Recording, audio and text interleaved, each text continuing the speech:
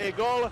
My se na všechny gólové momenty z tohoto zápasu pojďme v závěru přímého přenosu ještě jednou podívat. Začněme v 8. minutě, přesilovka 5 na 3, kombinace Krieger Müller a přesná rána druhého jmenovaného, která zapadla za záda Miroslava Sobody. Podívejte se, jaká to byla bomba z první, Soboda se v podstatě stihl jen ohlédnout. Druhý gol přišel trošku nečekaně ve chvíli, kdy se Plzeň natahovala po vyrovnání, ale z ničeho nic, z ojedinělé akce nahodil Chlán kotouč směrem na branku. Patrik Koch ho zřejmě ještě lehce tečoval a Svoboda byl bezmocný po druhé. To byla 31. minuta. Vypadalo to, že Vítkovice získají zápas pod kontrolu, ale přišlo ještě jedno zaváhání.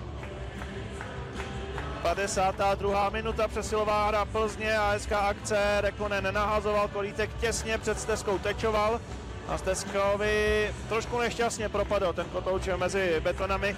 Bylo to najednou 2-1 pro Vítkovice a Plzeň cítila šanci, jenže slabší moment si vybral také golman Miroslav Svoboda, který v čase 38-59 takhle lacině propustil nahození Tobiase Lindberga. Vítkovice dali gol do šatny na 3-1.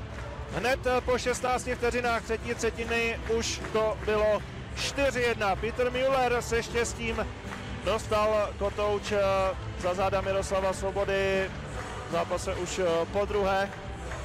Vidíte, že se tam dost zajímavě ten puk odrážel. Už na odtyčky a zpátky do brankáře těžko říct. Každopádně to bylo 4-1. Ještě 14 minut před koncem základní hrací doby Lukáš Kaňák si našel odražený kotouč, měl ho proti prohybu a propálil přesně stezku. Bylo to 4-2, ale víc už Plzeň tady v Ostravar aréně nestihla. Vítkovice tedy slaví první domácí vítězství v sezóně i se svým kotlem. To vítězství se zrodilo zaslouženě, Ridera poráží Škodu Plzeň.